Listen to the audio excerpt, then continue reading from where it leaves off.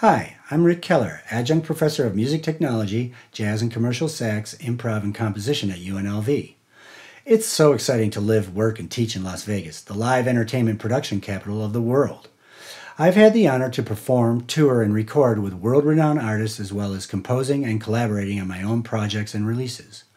One of the main courses I teach, MUS 139, Introduction to Music Technology, is a very popular and required course. The emphasis of this course is to develop fundamental skills required to integrate music related input data across several software interfaces, covering music notation, sequencing, and audio recording and editing. The second half of the semester focuses on digital video creation, editing, optimization, and formats for broadcast and web. I also teach MUS 239, Virtual Studio Technology. In this class, we focus on Avid's Pro Tools music recording, editing, and mixing software, with this as the industry standard for recording and editing sound to picture.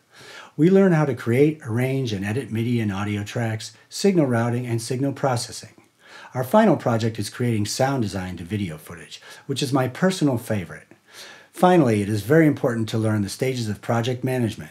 Pre-production, production, and post-production are also covered in both classes. The UNLV Music Technology program has a lot to offer, and we look forward to sharing it all with you.